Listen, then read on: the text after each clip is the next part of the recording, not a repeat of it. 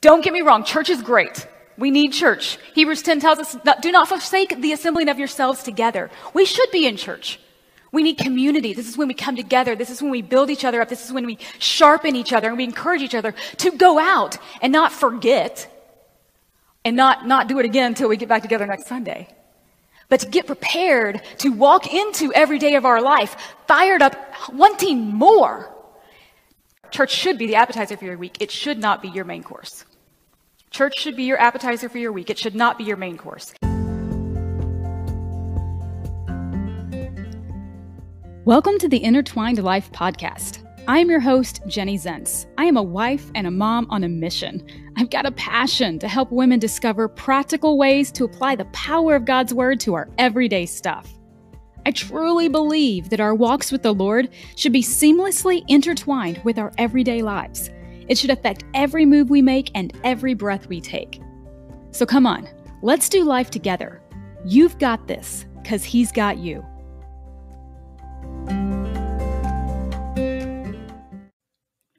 Hey, everybody, welcome to episode 43 of the Intertwined Life podcast. I'm really glad you're here. I hope you enjoyed today.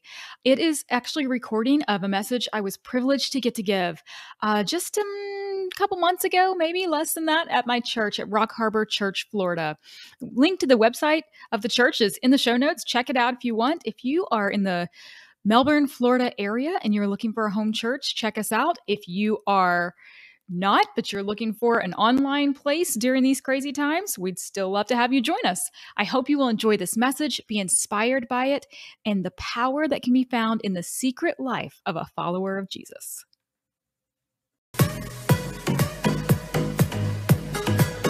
Come on, David, dance for the Lord, guys. Wake up a little bit. Come on. I know we've already been here a while, but it's okay. We can have fun. Thank you. We're here. Our God has already won. Every victory is already ours. Are we excited?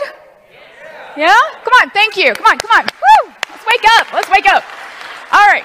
I promise I'm going to do my best not to talk too long. You promise to stay awake, and I promise not to let you get bored. How's that? Make a deal? Okay. So, a few years ago, several years ago, actually, before we even moved here, probably about seven, eight years ago. The kids were two and five. We're having dinner. I'm not going to say which child it would be. That can be your guess if you know my children. We're sitting at the table, and one of them, oh, mommy, I'm so full. I'm so full. Meanwhile, there's like half a plate of veggies sitting on the plate, right? I'm so full. I can't eat another bite, mommy. Well, okay. Okay. You know, the starving children in Africa are not going to benefit from my child eating more than they need. So, okay, right? And then five minutes later, I'm cleaning up the kitchen. Mommy, I need ice cream. Same kid. Mommy, I need ice cream. I said, But you just told me you were full. Oh, mommy, my veggie pipe is full, but my dessert pipe is empty. Two years old, this kid was. Oh my gosh, right? So smart. So that might have given away which kid it was if you were paying attention. Um, so incredible. But my question for you this morning is do you feel like your life is so full that you are maxed out, you're at capacity, but you're walking around with an empty God pipe? That is something that can only be filled up in your personal, private, one on one time with the Lord. The theme verse that Pastor Kevin's been using this whole time is John 127. And I wanted to use a little bit different version. Behold the Lamb of God who takes away the sins of the world. And the reason I wanted to use behold is because we've been saying look. And that's true. He's like, look over there. But this isn't like when you're at a restaurant and you're like, hey, look at that person over there. No, no, don't look, don't let them see you. No, he's saying, behold, look, stare, notice, take it in, study him. This is the Son of God who takes away the sins of the world. Don't glance his way, behold him. This is a whole nother thing, guys. We could have called this series Staring at Jesus, but that might have been a little weird. So we'll just stick with walking with Jesus. But that's what we're talking about, okay? This type of looking is best done on your own, in private, in secret. Okay? We are calling this morning's message the secret life of the believer. This morning, we're looking at Matthew 6, and I'm not going to completely reread every verse, but we're going to kind of go through that a little bit. Jesus is beginning to introduce a more personal relationship with the Almighty God. Until now, people knew of Jesus, or they knew of God, but they didn't really know God. And so if you're taking notes in your bulletin, that might be an underline, I'm not sure.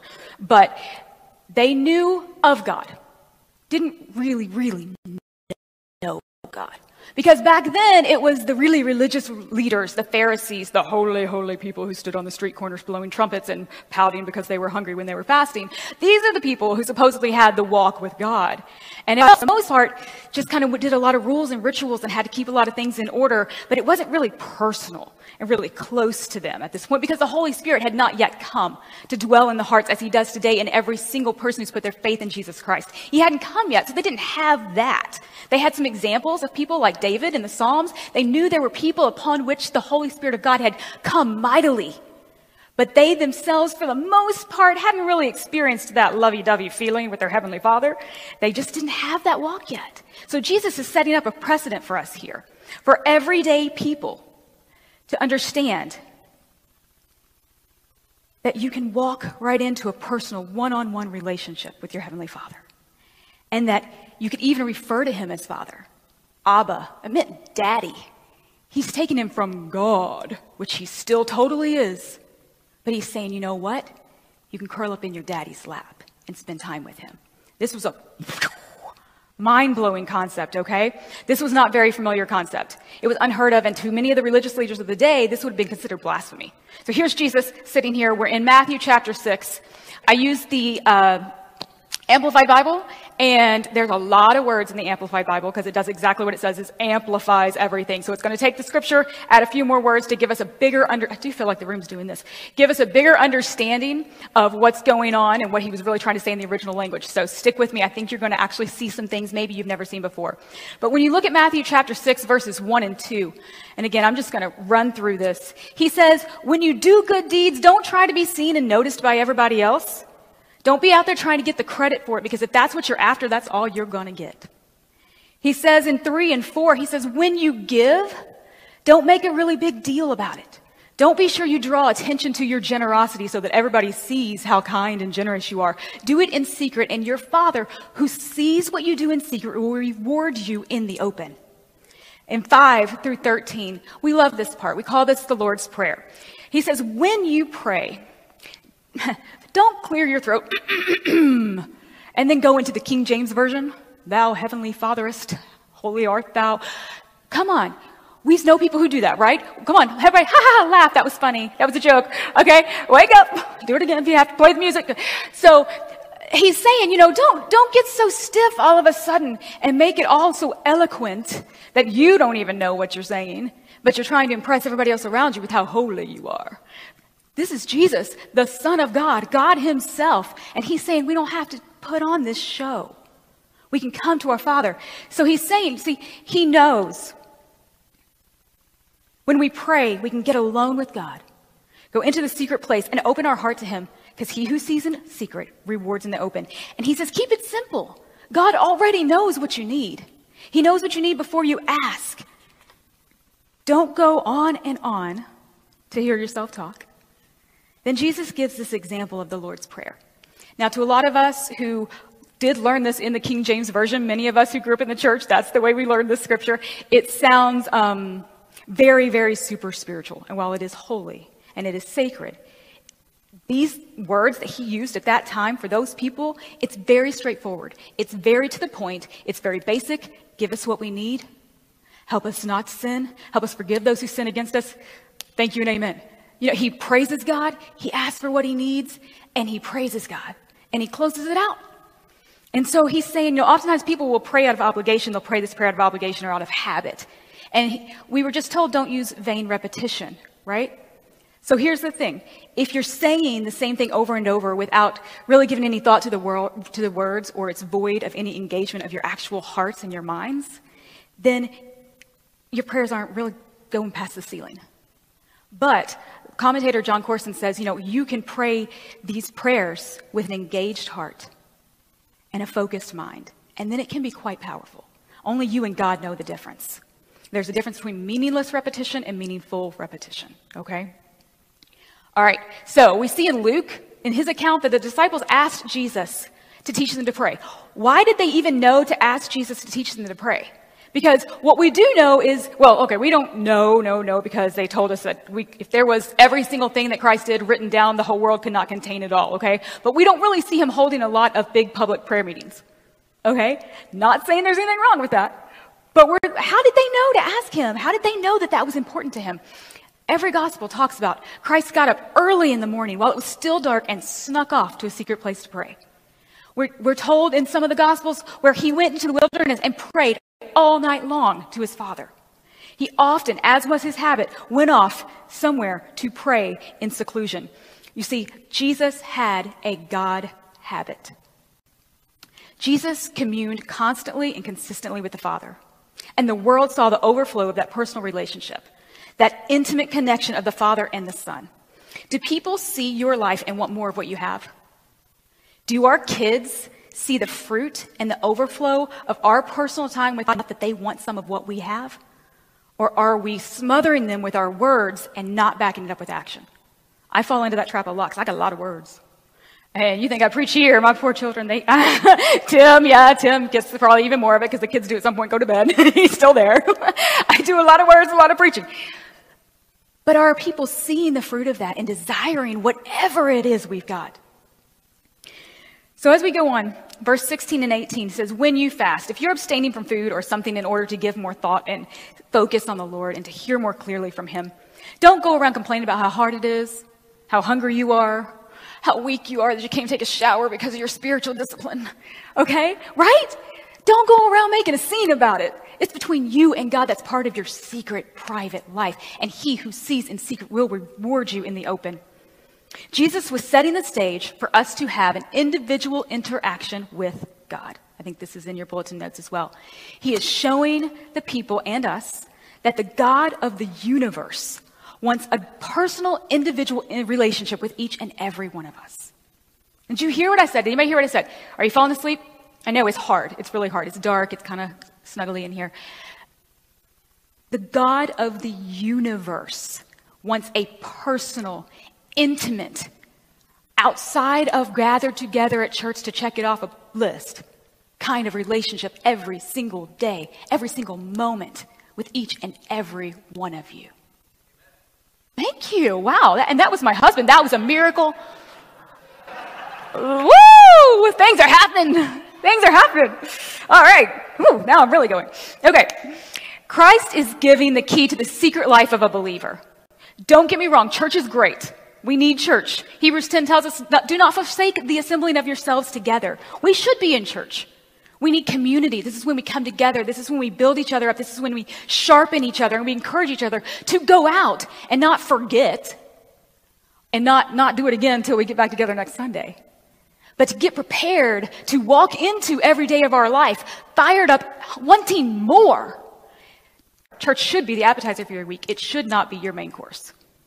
Church should be your appetizer for your week. It should not be your main course. If all you have is coming to church once a week, maybe a small group, to check it off a box, then what you have is a very shallow, impersonal faith, and it's not a growing, active walk with the Lord. And you cannot expect the fruits of that to overflow into your everyday life. God wants to walk with us every day, day in, day out, personal one on one relationship. He wants those inside jokes you know how you have your spouse or your close friend and they know things and not everybody else knows, and sometimes you don't even have to really say anything. You just give a look and you both just start laughing because you know exactly where you're going. God wants that kind of relationship with you. He fully knows you. He wants you to get to know Him too. And He wants to have those moments. And there's a promise attached to this kind of relationship. Your Father who sees in the secret will reward you in the open. There should be some things that are just for the two of you. So go with me here. Just like in marriage, it's the stuff done in private that builds the most intimacy. Everybody tracking with me? Mm-hmm. mm-hmm. Okay. You got that? Everybody's awake now. Okay.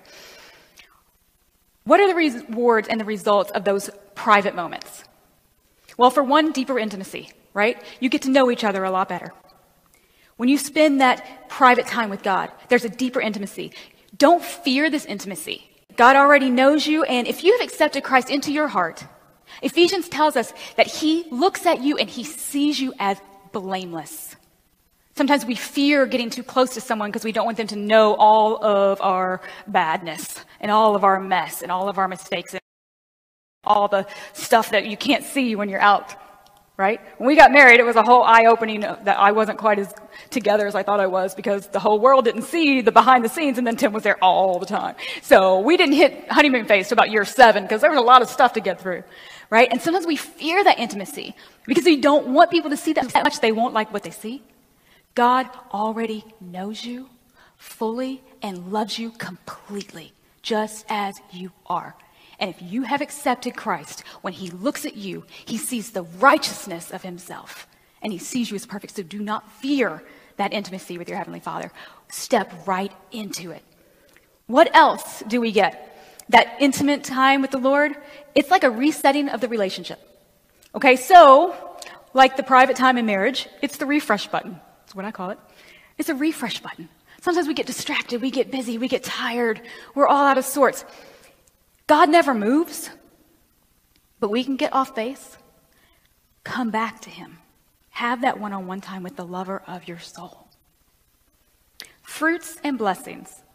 Private, intimate time in marriage produces fruit. And it will be great life changing rewards that result from the time alone with your Heavenly Father. A thriving, intentional, personal walk with Christ will result in a rich, blessed life. Now, don't hear what I'm not saying.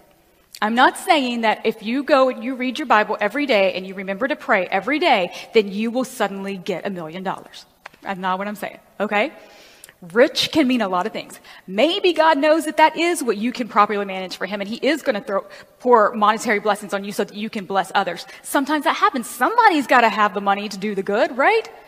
But peace, strength, ability to come through hard times and have that unshakable faith. A presence in your home that just reeks of the Spirit of God. These are also blessings that equate to a rich, powerful, full life. These are the kinds of things we find when we do that one on one intimate time with our Lord that strengthens us from the inside out. And then that private time, better relationships with others. So let's be honest. After some behind closed doors activities, in marriage, you might be nicer to other people. You might have a little more pep in your step. They might notice a glow. In Exodus, we are told that when Moses went up and he was on the mountain and he was communing with God, when he came back down, his face was so bright, he had to wear a veil on his face because the children of Israel could not even look at him. Because people will be able to see when you have spent time with God.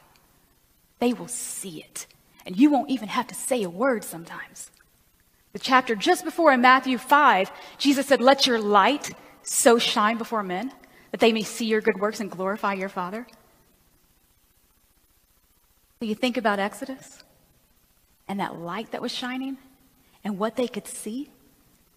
So Jesus is saying, have this secret life with your Heavenly Father, and you will shine and you won't even have to say anything sometimes. People will be like, I don't know what you got, but I want some. And that opens a door much better than carrying your Bible around and beating somebody over the head. You need some Jesus, right? There's a time and a place for that sometimes. But that intimacy will produce that kind of life. And even if people don't know why, they'll be able to see something else that's different. Your Father who sees in secret will reward you in the open. Now, this leads me into something I'm very excited about. I call it the brown sugar principle. So, first, I want to read to you Matthew 7, verses 1 through 2. It's about judging others. Turn if you want. I don't even have the scripture or not? It's okay if I don't. Okay. There we go. Now, this, again, this is the Amplified Classic version, so bear with me. Do not judge and criticize and condemn others so that you may not be judged and criticized and condemned yourselves. Verse 2. Verse 2. For just as you judge and criticize and condemn others, you will be judged and criticized and condemned. And in accordance with the measure you use to deal out to others, it will be dealt out again to you. I feel like that's pretty clear. So now we're going to go on to love this one. Mark 4 24. So it's up here in the Amplified. First, I'm going to read it to you in the New Living Translation. Then he added, Jesus, of course, pay close attention to what you hear. The closer you listen, the more understanding you will be given, and you will receive even more. I love this. I love this promise. I want you to hear this in the Amplified. And he said to them, Be careful what you are hearing. The measure of thought and study you give to the truth you hear. What's the truth? Word of God, right? So let's not, Jesus, I am the way, the truth, and the life. Let's not get distracted. The more thought, and it's a promise in Scripture, guys. I put little asterisks in my Bible when I see a promise, and I go ding, ding, ding, promise. It's something I do a lot, and I have an asterisk by every time I find a promise. Because we can take him at his word. He wants us to. Okay? If you find something in the Word of God, you take it and you say, God, it says right there, and I want it. You said I could. He loves that kind of prayer. He's like, bring it on, sister. The measure of thought and study you give to the truth you hear will be the measure of virtue and knowledge that comes back to you. How much you put into this is how much you're going to get out of this. And then more. More besides will be given to you who hear. All right, I could be on that forever. I got to keep going. All right, next. Well, actually, first, I do want to say just show up. Don't tell me I don't get it. The Bible's too hard. It's confusing. I don't understand it. I try to read it. I don't get anything out of it. I understand. Okay, I understand. But let me tell you that Hebrews tells us the Word of God is alive and active. Get into the Word, and it will get into you. He tells us in Isaiah 55 that His Word that He sends out will not return void, but it will accomplish what He sent it out to do. That's His job. Jesus told us that the Holy Spirit would remind us of the things He taught us, but the Holy Spirit cannot remind you of something you have not given mind to. Get in the Word, let Him do the work. Yo hablo español, pero yo estoy uh, olvidando muchísimo. I speak Spanish, but I'm forgetting a whole lot of it. But what happened was, I was in class for years, a couple times a week. Does that sound like anything we do a couple times a week? I was in Spanish class for years, every week, a couple, you know, a few hours. I barely scratched the surface, but when I went to Mexico and I lived with a family, when I was immersed and gave continual thought and study to the language, my skills took off like crazy. But it wasn't until I was constantly surrounded by it. So once a week, twice a week, hola, me llamo Jenny, mucho gusto, right? But, pero después muchos, muchos meses allá, yo puedo hablar con una mexicana. I speak like a Mexican sometimes because I spent the time there and it came because I was immersed in it, giving constant thought and study to it. And it was scary at first and it was confusing at first and it was frustrating at first. But then the fruits came. Okay? Now I'm forgetting a lot of it because I'm not spending a lot of time in, in Mexico these days, but there we go. That tells you what thought and study does. So, Luke, Luke 6, 36 and 38. Love this. Be merciful just as your Father is merciful. I'm doing this one in the NIV. Do not condemn, and you will not be condemned. Do not judge, you will not be judged. Forgive, and you will be forgiven. Give, and it will be given back to you. A good measure, pressed down, shaken together, and running over will be poured into your lap.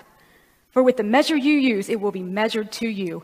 And we saw, Mark said, and then more besides. A good measure, pressed down, shaken together, and running over will be poured into your lap. Now, I'm not much of a baker, probably because I don't like to be told what to do. I'd rather cook and make it up as I go. Um, just, right? The baking and the exactness, it drives me crazy. Um, but I had always, always associated this verse with brown sugar. And it wasn't until a couple years ago that I found out not everybody does that. Does anybody else read this verse and instantly think, oh, brown sugar?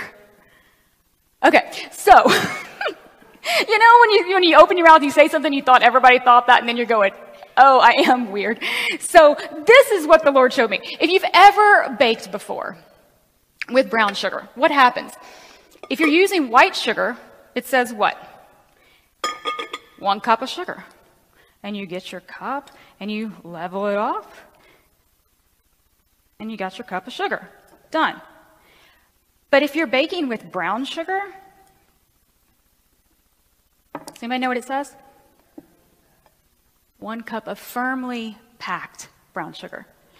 So, what happens when we get a cup of brown sugar? And it says a good measure, so it probably doesn't even level it off. But then what does it say? Press down. And I press this down, shake it together, press it down. What happens? I got room for more. Put some more in there. Firmly, firmly packed, press down. Look at that. I could still put more on there.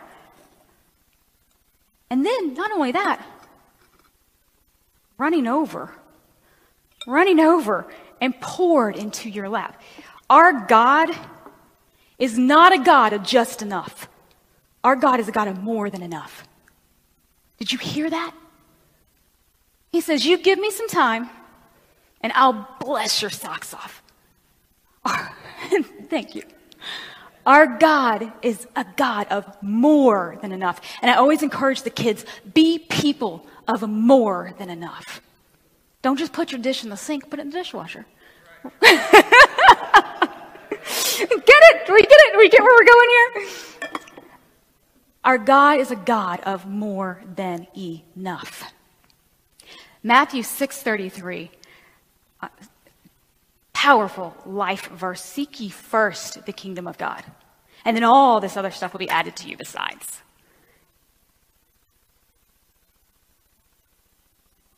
Make him your priority. He will do things you never dreamed. Um, I'm going to ask you again how full is your God pipe?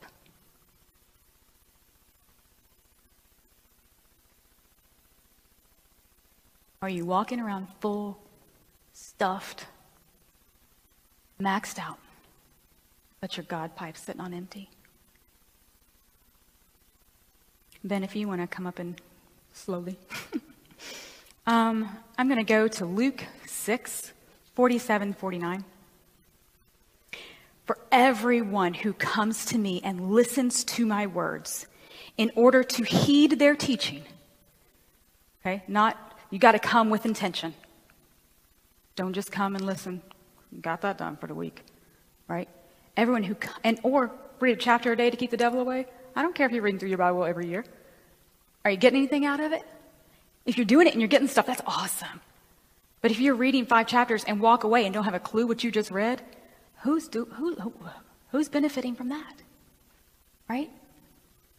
Everyone who comes and listens to my words in order to heed their teaching and does them I will show you what he is like. He is like a man building a house who dug and went down deep and laid a foundation upon the rock. And when the flood rose and the torrent broke against that house, and it couldn't shake it, it couldn't move it because it had been securely built or founded on a rock. But he who merely hears and does not practice doing my words is like a man who built a house on the ground without a foundation, against which the torrent came and burst, and immediately it collapsed and it fell, and the breaking and the ruin of that house was great. Friends, Christ wants you to be unshakable. Unshakable. Yes, come to church. But if all you're doing is taking what you hear here and you're not taking it into a more deeper, personal, intimate relationship, then it's not going to do you much good.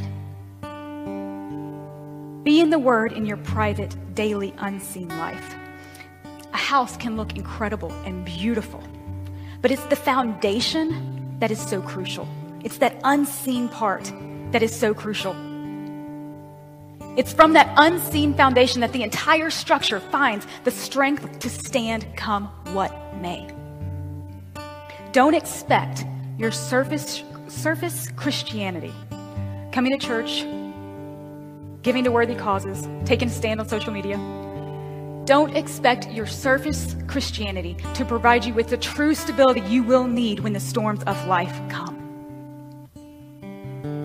You must have a thriving, secret life that is just between you and your Creator. This is my prayer for you. This comes from Ephesians. It makes me even want to cry just thinking about it. If I had to pick a favorite book of the Bible, it would be Ephesians. They're all good. I love Ephesians. My prayer for you, for all of us. I prayed this prayer for Tim when we were dating. Started in verse 16. It said, God, I fall on my knees.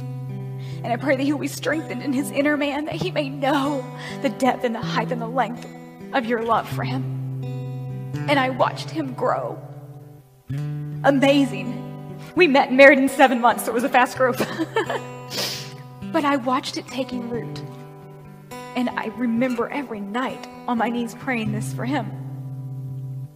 Pray this for myself, for my kids, for this church. We pick up in verse 19 that you may really come to know, practically, through your experience for yourselves, the love of Christ, which far surpasses mere knowledge without experience. Experience is tough sometimes, guys. Experience is not always easy. That experience is a pretty, word, word, pretty way to say tough times. But it's through those tough times you really, really, really know the love of Christ that far surpasses mere knowledge. Unto the fullness of God, that you may have the richest measure of the divine presence and become a body wholly filled and flooded with God Himself. Now, to Him who, by and in consequence of the action of the power that is at work, where? Within us if we've accepted Christ, the power of the Holy Spirit, the same power that raised Jesus from the dead, lives on the inside of us. Through that power that is able to carry out his purpose and do super abundantly, far over and above all that we dare ask or think, infinitely, infinitely beyond our highest prayers, desires, thoughts, hopes, or dreams. To him be the glory. To him be the glory in the church and in Christ Jesus throughout all generations forever and ever. Amen. Amen. So be it. So be it. Our God is not a God of just enough. He is a God of so much more than enough. Look at the difference. Look at the difference.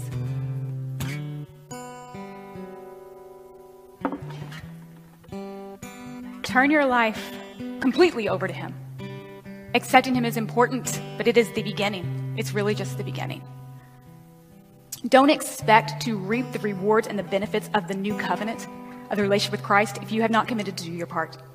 Now, first and foremost, it is placing your faith in Jesus Christ as your Lord and Savior. Realizing that it is only, you can't do nothing to get yourself perfect, okay? We can't do anything. Our God is perfect sin entered the world, he can't be united with sin because that would make him no longer perfect. And that's not going to happen. He will not change. So, what's got to happen? Something's got to change in us. But we could never do anything to make ourselves perfect. And let me tell you something if you think for one second that anything you can do can get you perfect enough to be united with the mighty God, then Jesus Christ came and died for nothing. Do you hear that? I don't care how you grew up or what you've been taught. If you think for one second you can do anything, to reunite you in perfection with the perfect Heavenly Father without the perfect blood sacrifice of Jesus Christ, then you're fooling yourself. It is only putting your faith in Jesus, and He stands between you and Almighty God. And then when He says, Why should I be reunited with you? And you say, Jesus. I put my faith in Jesus. And then when He looks at you, He sees the righteousness of Himself because we are told that Jesus took our sins and gave us his righteousness. So, first and foremost, if you have not put your faith in Jesus Christ as your only hope, do that. But then, guys, that's just the first step on your journey. A very, very, very important step. But man, then your life can really take off. But not if you don't have that secret life with God. It's not enough just to say, Lord, Lord. It's not enough just to raise your hands in worship and look really holy but never take it from your lips to your heart. God's not impressed by how holy we look.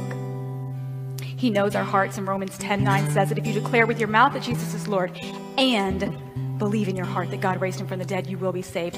Putting your faith in Jesus is the first step. But it's just the beginning to a radical, powerful, supernaturally abundant, overflowing secret life that Christ has for each and every one of us. So, how full is your God pipe? it's not too late. You can start filling it up right here and right now by investing in that secret life with the lover of your souls. Hey, friend, if you enjoyed this episode and you got some good stuff out of it, there's a few options you have. One, you could click that little subscribe button, because let's be honest, who's got time to remember to check back and see if there's a new episode, right? So click that subscribe button, and then when a new episode comes up, it will just, by the magic of the internet, pop up in your Dropbox and it'll be right there for you whenever you're ready. And also, if you would review this podcast, oh my gosh, if you like what you heard, get on there, give it a five star review. If you didn't like what you heard, just pretend it never happened, okay? but if you would do um, a review for me, just take a couple seconds and do that. Not only would I be crazy excited, but also it would just be a great way for us to partner together for you to help this podcast be seen by more women out there. And you could be a part of helping more women discover these practical ways to apply God's word to just everyday stuff. So I would love it, love it, love it if you could help me out in one of those two ways.